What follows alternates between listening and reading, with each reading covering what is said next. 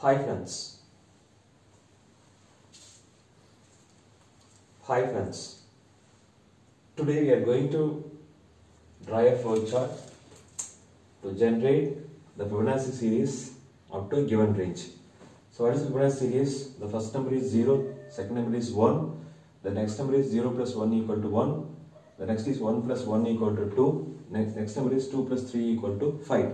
This series is known as a Fibonacci series. We are going to draw a flowchart to calculate the Fibonacci series. So start. This is the start. This stands for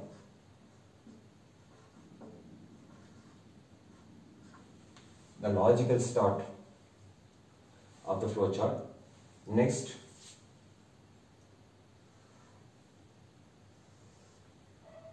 I set the variables. Okay, set the variables. Set f1 equal to 0, f2 equal to 1, f3 equal to 0, comma, i equal to 1. Next, obtain the input, the range. It means 3 means first 3 numbers, 4 means first 4 numbers, 5 means first 5 numbers, 10 means first 10 numbers. So for this I am obtaining a range.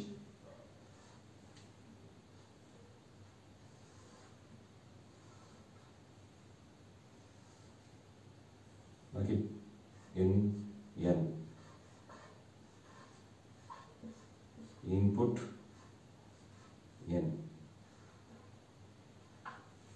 Okay. Next, am checking.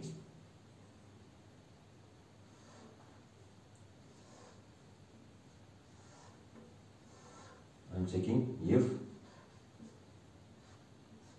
I less sorry. Next.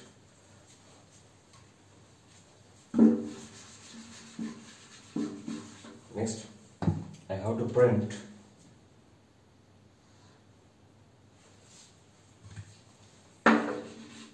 so next I have to print F1 and F2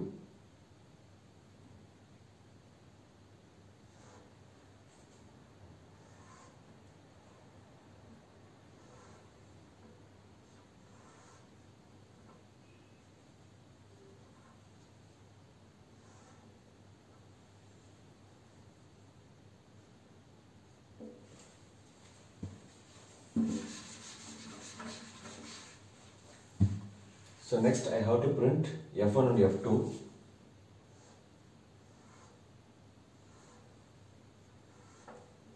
Okay, print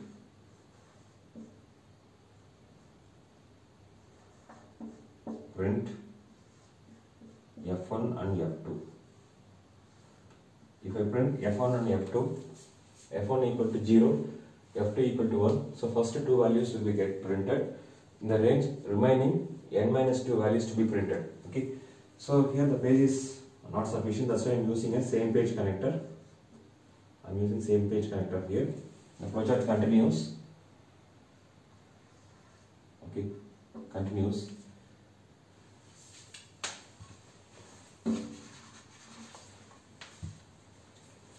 From here, the same page connector. That means I'm giving a label A. That means the flow continues from here. Okay, the flow continues from here.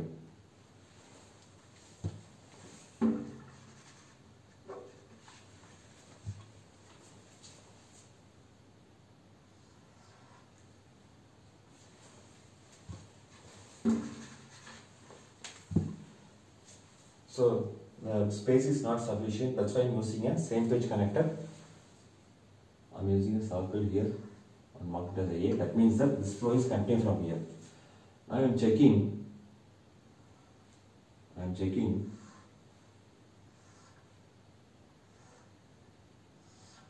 If if i less than or equal to n minus 2. Why n minus 2? f1 and f2 get printed here on 0 and 1. So remaining in the range, first two numbers get printed. That's why the loop should go up to n minus 2 only because the first two numbers get printed here. n, okay, n minus 2. Okay. If yes means, if it is yes, okay, true flow, if it is yes means, yes means, what I am doing,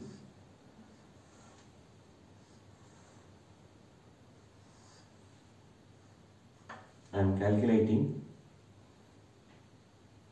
F3 equal to F1 plus F2. Okay. So next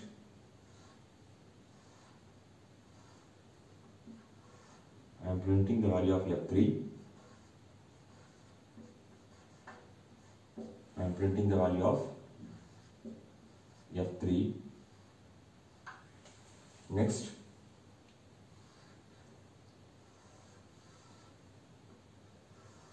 am assigning F1 equal to F2, comma F2 equal to F3 equal to F3. Next, I am incrementing a value of